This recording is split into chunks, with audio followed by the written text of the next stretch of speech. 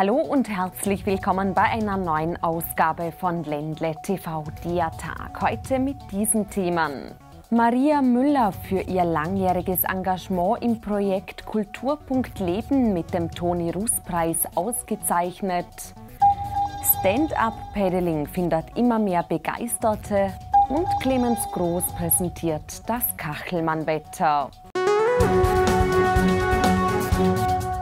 Bereits zum 48. Mal ging am Montagabend die Toni-Russ-Preisverleihung im Festspielhaus in Bregenz über die Bühne. Im Mittelpunkt stand Maria Müller, welche für ihr Engagement beim Projekt Kulturpunkt Leben ausgezeichnet wurde. Alle Informationen dazu gibt's jetzt.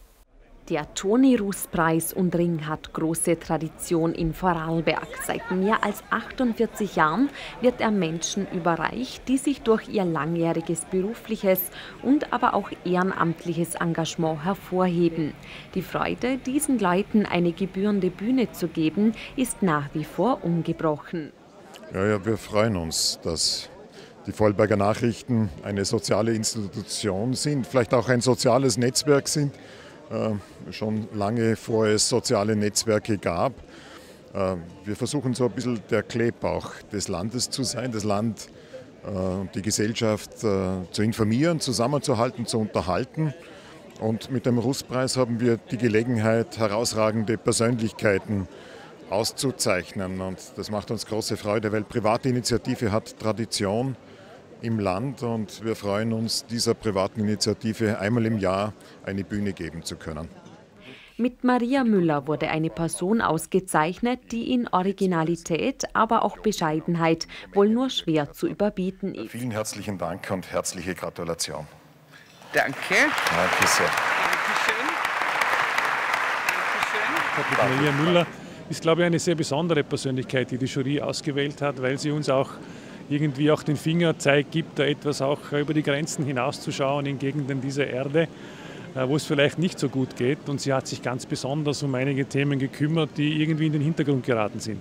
AIDS-infizierte Kinder und das über, über 20, 26 Jahre hinweg. Und das kombiniert mit der Kultur ist eine ganz besondere Idee.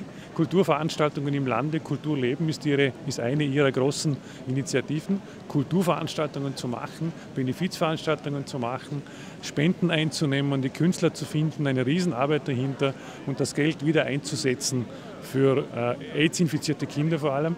In Rumänien am Anfang, am Ende auch in Äthiopien. Ich halte das für eine ganz, ganz großartige Leistung, die uns auch, auch zeigt, was möglich ist. Äh, da muss man ihr gratulieren und ich glaube, wir können sagen, Vorarlberg ist stolz auf, auf eine derartige Persönlichkeit. Bescheiden, aber engagiert zeigte sich Preisträgerin Maria Müller bei ihrer Dankesrede. Sich selbst aber, wie könnte es anders sein, in den Hintergrund stellte und der Hoffnung Ausdruck gab, dass diese Auszeichnung weitere Türen in ihrem sozialen Wirken öffnen werde.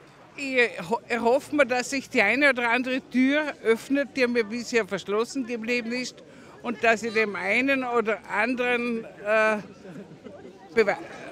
damit übermitteln kann, dass es sich um eine seriöse Angelegenheit handelt. Wir alle sind zutiefst überzeugt, dass die Caritas, also besonders ihr, ihr Zweig äh, Kulturpunkt Leben, eine ganz, ganz wichtige Organisation ist. Und ich bin immer froh, wenn ich da mithelfen kann. Der im Juli dieses Jahres verstorbenen Ehegattin von Toni Russ wollte man ganz besondere Wertschätzung erteilen. So wurde der Preis einstimmig zum Toni und Rosa Russ Preis und Ring umgenannt und darf auch im nächsten Jahr wieder herausragendes Engagement rühmen. Soweit zur Toni und Rosa Russ Preisverleihung 2017. In unserem nächsten Beitrag präsentieren wir Ihnen eine neue Trendsportart und zwar das Stand-up-Paddling. Bei Surfmax im Harder Binnenbecken am Bodensee kommen Sportbegeisterte voll auf ihre Kosten. Hier werden Stand-Up-Paddling, Windsurfen, Kanu und Kajak, SUP-Yoga sowie verschiedene Camps angeboten und lassen bei Jung und Alt keine Langeweile aufkommen. Dem Wasserspaß steht somit nichts mehr im Wege. Der Surfmax hat einerseits eine exklusive Lage, würde ich sagen, da. Ist super schön hier am Harder Binnenbecken. Großer Vorteil ist, wie gesagt, das ist ein Binnenbecken. Wir haben da überschaubare Größe. Das heißt, wir, wenn wir Schulungen durchführen, haben wir alles im Überblick und wir sind da ja, nicht den Wellen ausgesetzt wie draußen am See und dadurch ideale Bedienungen zum Windsurfen, Stand-Up-Paddeln oder Kanu- und Kajakfahren. Zu uns kommen Leute, die interessiert sind am Stand-Up-Paddeln, die entweder ausleihen wollen, eine Tour machen wollen oder einen Kurs. Kommen andererseits auch Leute, einfach, die in die Gastronomie wollen, die einfach ein Bierle trinken wollen.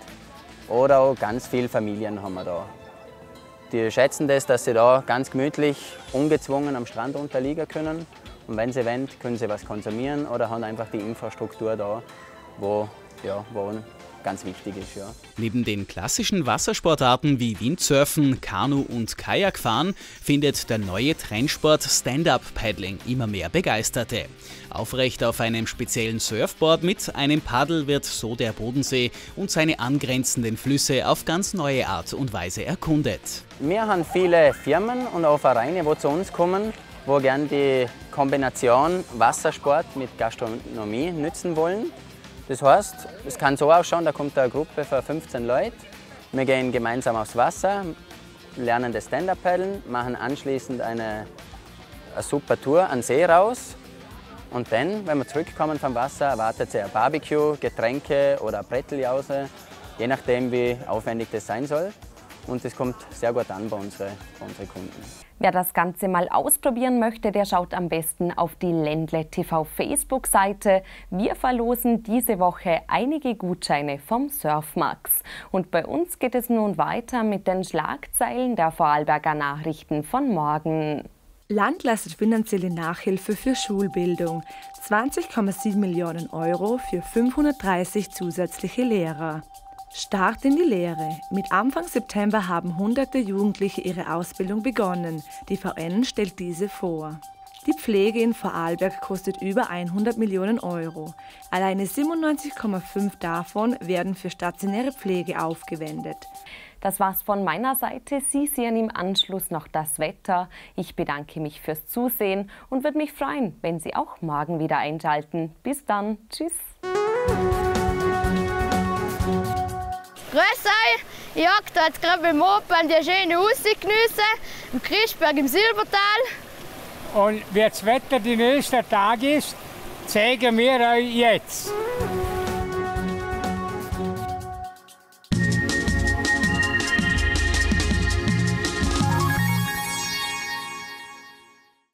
Herzlich willkommen beim Ländle TV Wetter. Der Mittwoch bringt uns einen wechselhaften Septembertag.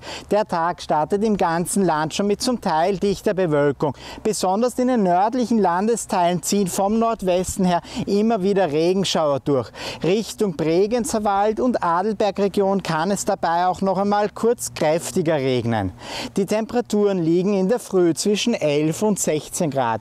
Tagsüber geht es dann wechselhaft weiter, wobei im Laufe des Nachmittags vom Westen her, besonders im Rheintal, die freundlichen Abschnitte zunehmen und zeitweise sich dann auch die Sonne blicken lässt. Die Temperaturen steigen auf rund 17 bis 21 Grad. Auf dem Kahorn in rund 2416 Höhenmetern hat es am Nachmittag 5 Grad plus. Wechselhaft geht es dann auch noch am Donnerstag weiter. Der Donnerstag bringt uns zunächst einen Mix aus Sonnenschein und ein paar dichteren Wolkenfeldern mit durchziehenden Regenschauern. Die Temperaturen steigen auf rund 18 Grad. Im Laufe des Nachmittags bessert sich dann das Wetter und die sonnigen Anteile nehmen immer mehr zu. Am Freitag erwartet uns dann ein freundlicher Tag.